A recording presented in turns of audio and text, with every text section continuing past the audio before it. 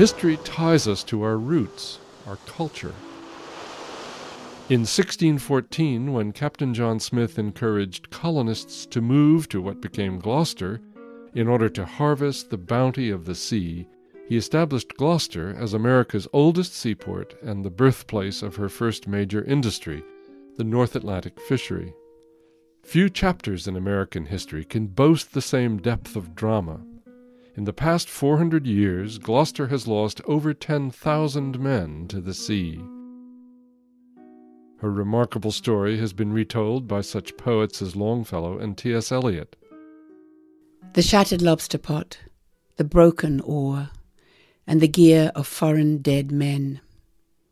The sea has many voices, many gods and many voices. The salt is on the briar rose, the fog is in the fir trees. Though built on fishing, Gloucester has also attracted painters, sculptors, poets, adventurers, and remarkable inventors. One of the greatest inventions was as seemingly simple as paint. But it was much more than that. It solved a problem that had plagued ships ever since Egyptian times barnacles, worms, and weeds that grew on the bottoms of ships and slowed their progress. Two Gloucester families, Tarr and Wonson, worked together to find a solution to this ancient problem. Like many who had fueled the Industrial Revolution, these two men experimented for years painting chemical concoctions onto house shingles, which they immersed in Gloucester Harbor, until finally one of their concoctions showed anti fouling properties. It was based on copper oxide in tar with naphtha. In 1863, Tarr and Wonson received a patent for their revolutionary bottom paint. It was sold worldwide and won many international awards. By 1870, the first buildings of Tarr and Wonson's paint manufactory appeared at the end of Rocky Neck. One cannot overestimate the effect of the new anti fouling paint. It transformed not just the North Atlantic fishery, but trade, commerce, and even warfare. For many years, Tarr and Wonson made the only bottom paint in America, but it coated the hulls of ships that sailed the world. Dear Sir, I feel under obligation to highly recommend your copper paint as the best I have ever used on a vessel. Captain Solomon Jacobs, schooner Molly Adams. Tarr and Wonson bottom paint is still made today over a 138 years later. But the buildings where it was first produced are abandoned and are suffering demolition by neglect.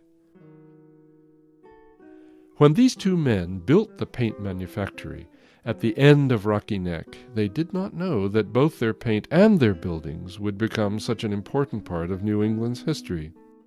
As a result of Tarr and Wonson's attention to detail, their buildings became beautiful as well as functional. Painters from around the world, such as Edward Hopper and John Sloan, came to capture these buildings on canvas, a trend that continues today, making the paint factory one of the most familiar images in New England art. The and Wonson Paint Factory has stood sentinel to our ancient Gloucester harbor for nigh half our history as the oldest fishing port in the New World. No other monument, not even our legendary statue of the man at the wheel, so represents the deeper meaning of our beloved maritime haven, one of the greatest on the seven seas. Long may this weather-worn adjunct of our fishing fleet of centuries upon centuries serve as a revitalized guardian of our threatened environment and our very way of life. The Massachusetts Historical Commission has determined that the property is eligible for listing in the National Register of Historic Places. Rarely does a series of favorable opportunities arise that give such a clear chance as faces us now to save so remarkable a piece of history. These buildings are a daily reminder of Gloucester's heritage, a link to the past, a bridge to the future. By saving the past, we give the future a foundation on which to stand.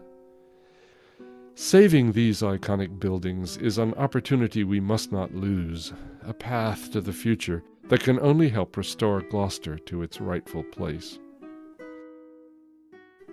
If only its walls could talk, what tales they could tell. Thousands of fishermen have sailed by on their way to the banks, many never to return.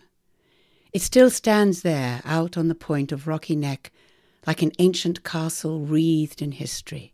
May it stand for another century.